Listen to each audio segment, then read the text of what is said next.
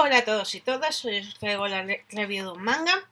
En este caso es este, Akuma no Riddle, cuyo dibujante es Naomi Nakata y cuyo guion es Jun Kouga.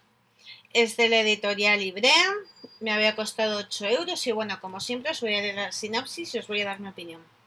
Dice, en la Academia Mioyo existe una clase que abre solamente durante periodos especiales denominada clase negra. En la clase negra del décimo año se reúnen 12 asesinas y estudiantes de bachillerato, con el fin de asesinar a Haru Ichinose, una colegiala de lo más normal. Una de las asesinas enviadas es Tokaku Azuma. Sin embargo, esta empieza a sentirse atraída hacia Haru. Mata y vive o deja vivir y muere. O si no, deja vivir y vive. ¿Cuál será la lección de Tokaku?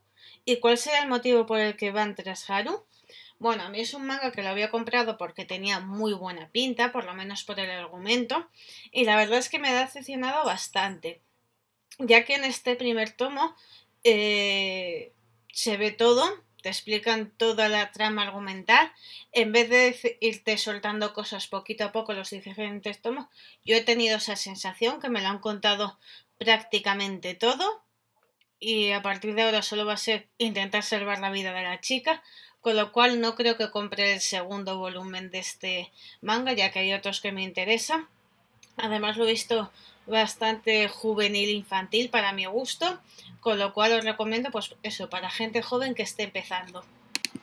Y bueno, hasta aquí la review, como siempre espero que os haya gustado, que le deis a me gusta, suscribáis a mi canal y lo compartáis en todas vuestras redes sociales y muchísimas gracias por estar ahí.